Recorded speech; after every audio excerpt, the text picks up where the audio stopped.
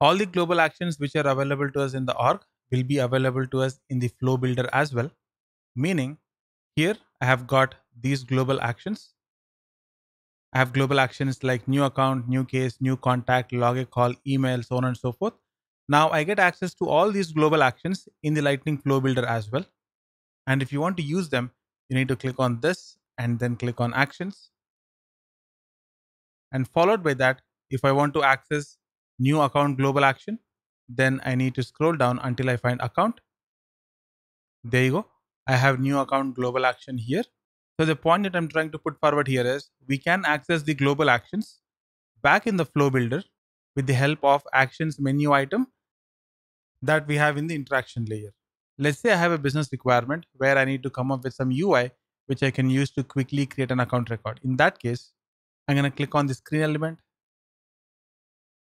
I'll try to take the help of text based component. I'm going to drag it and drop it. Let me provide the label here. This is going to be account name. If I want to mark this as required, I'm going to check this checkbox. Let me also give a name to the screen.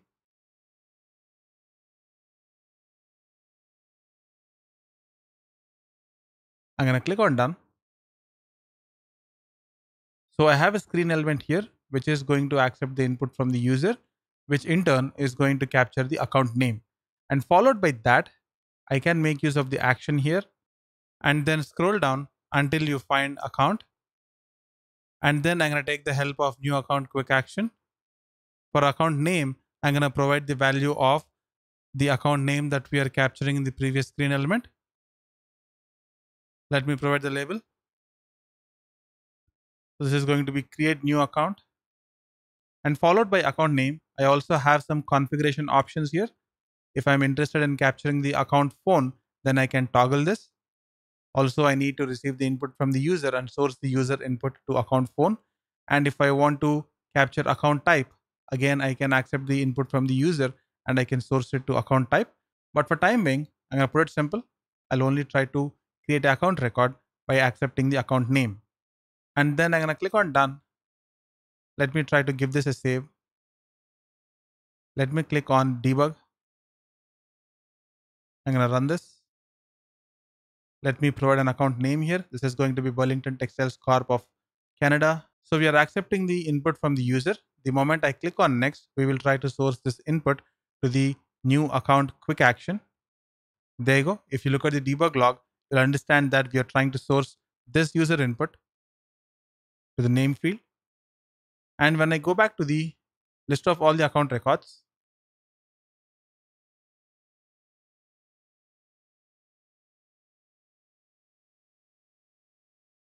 you will find Burlington Textiles Corp of Canada, which is what we have created a couple of minutes back with the help of the new account quick action in the lightning flow. Now you can definitely argue back by saying Krishna, why do we have to take this route when we have bunch of other options? Meaning, here I can take the help of fields option and I can definitely create an account record. Now I can create a new record variable of type account and source that here. Followed by that, I can drag and drop the fields onto the screen. Now using these fields, I can accept the input from the user and followed by that, I'm going to take the help of create record block and I can commit the changes back to the database. Now that being one way of creating a new record, we can also take the help of base components, drag and drop four or five different base components onto the screen element. I can have a text box, I can have a couple of pick list fields for industry rating, and I can have it another text box for account number.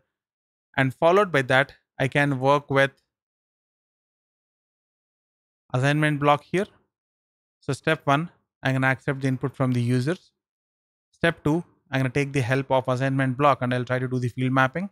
Step 3, I'm going to take the help of create records block and I'm going to commit the changes back to the database. We can take this route as well. Now, if you take a step back and if you look at these three different ways of creating an account record, you definitely have to accept with me that the most easiest way of creating an account record is going to be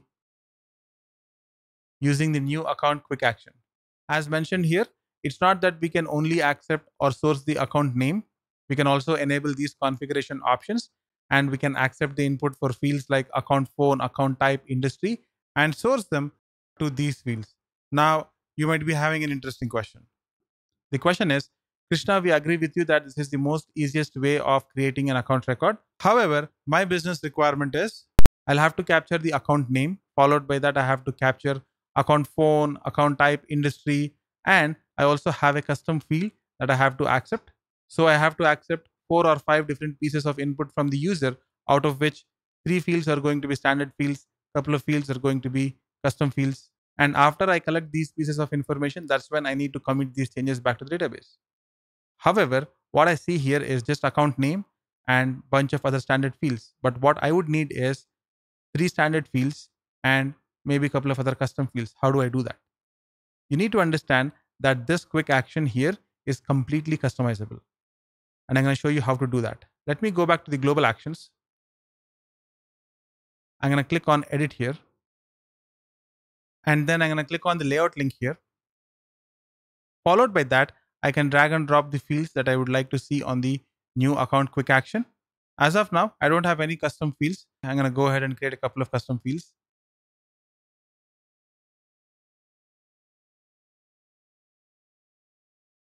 I'm going to click on account and then fields and relationships, new.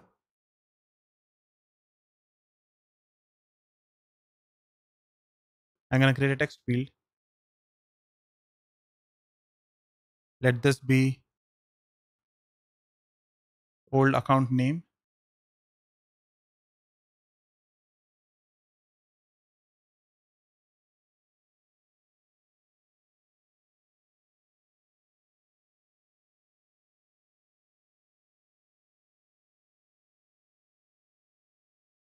Let me create another field. Let this also be a text field. And I'm going to call this as old account number. Length is going to be 100 maybe. Click on next, next, and then click on save. So I did create two custom fields. And what I'm trying to achieve here is make sure that these two custom fields are available to us on the new account quick action screen.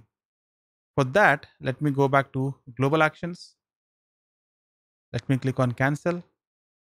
I'm going to click on layout here. Search for old account name and old account number. Let me drag it and drop it here. Give it a save. Back to the flow builder. Let me reload this. Let me also try to open up this quick action. And when I scroll down, you'll find old account name and old account number. So I can enable these two options and followed by that, I can accept the input from the user here.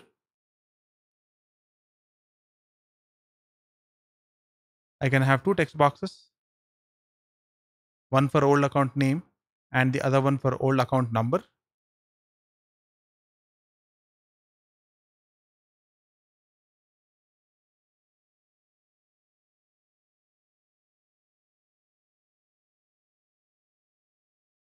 Let me click on done. Let me give this a save. I'm going to debug it.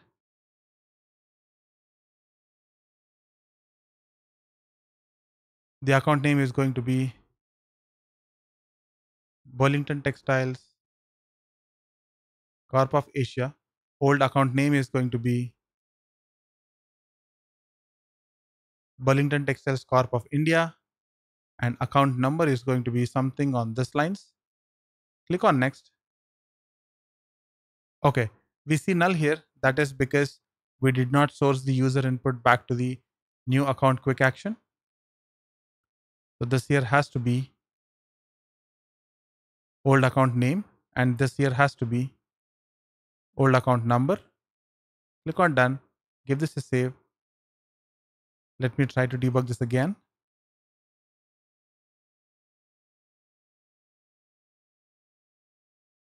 This is going to be Burlington Textiles Corp of Asia. The old account name is going to be Burlington Textiles Corp of India. Old account number is going to be something on the lines of this. Click on next. Perfect. Now back to the list of accounts. I have it here. Let me open this up. Details. There you go. I have the old account name and old account number captured here. So this is how I can make sure that the global action new account is modified and that in turn is used and customized in the core actions of Lightning Flow. And in turn, using these customizations, we can quickly create a new account record. As mentioned earlier, there are a couple of other ways using which we can create an account record with Lightning Flows. However, this year is going to be the easiest way possible. Now, just like how we have one action for creating the account record, we also have an action for creating a contact record. We have it here. And then we have one action for creating a new case, one action for creating a new lead, new event, new note, task, opportunity, so on and so forth. And not only that, the cherry on the cake is I can create a custom object and I can create a global action for the custom object. And followed by that, I will be finding the custom object here in these list of actions. And I can use the global action on the custom object in the flow. Meaning, step one, I'll create a custom object. And step two, I'm going to create a global action for that custom object. And step three, I will find that global action on the custom object here. And the last step is I'm going to take the help of the global action that we have created on the custom object and we can create a new record into the custom object. And this is what we'll be looking at in the next episode. See you there.